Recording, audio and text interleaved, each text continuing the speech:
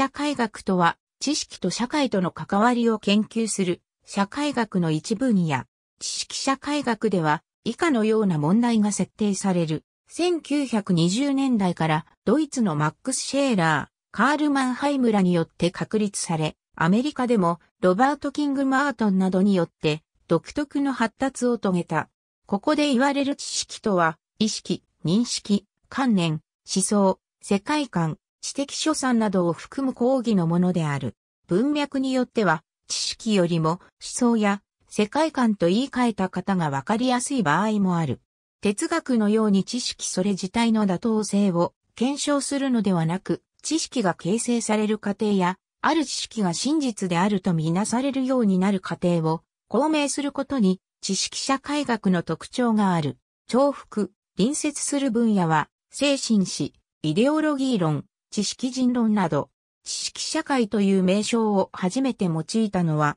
マックス・シェーラーである。彼の社会学は文化社会学と実在社会学に分けられる。これは精神と衝動の二元論に基づいている。前者は知識社会学とほぼ同義であり、人間の精神的、理念的な目的を思考した行為、活動の研究である。後者は生殖、栄養、権力欲などのリアルな衝動に導かれた人間の行為を研究する。この二つの社会学は個々別々に研究されるものではなく、理念的因子と実在的因子との共働き作用、相互影響が問題になる。シェーラーは知識の分類において、オーギュスト・コントの宗教的、刑事上学、実証科学という三つの分類を継承している。しかしコントのように知識が段階を経て、歴史的に発展してゆくという考えは取らず、これら三つの知識は人間の精神の形式として同時に存在するもので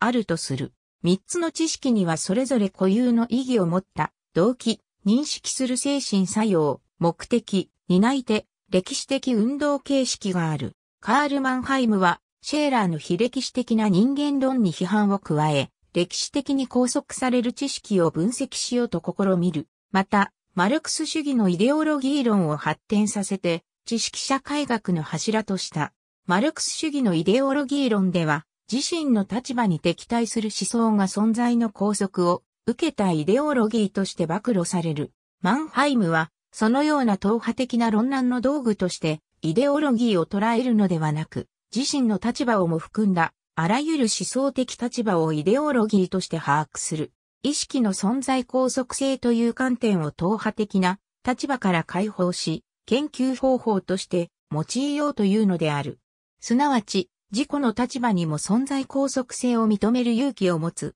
ことで、イデオロギー論は一党派を超越した一般的な社会史、思想史の研究法としての知識社会学に変化するというわけである。こうして、マンハイムの場合、イデオロギーは思想的武器としての意味合いを払拭され、存在に拘束された一般的な視座構造を意味するようになる。マンハイムはこうした知識の存在拘束性の理論としての知識社会学の担い手を階級的貴族による束縛から免れていると彼が考えた自由に不動するインテリゲンツィアに求めた。組織化されたインテリゲンツィアは権力を有する特権的な知識人の学説に追随することしかできないが、組織から解放された自由なインテリゲンツィアは特権による知識の改ざんの呪縛から逃れて自由に発言できるというのである。徳永敦知識社会学の成立と展開。P17、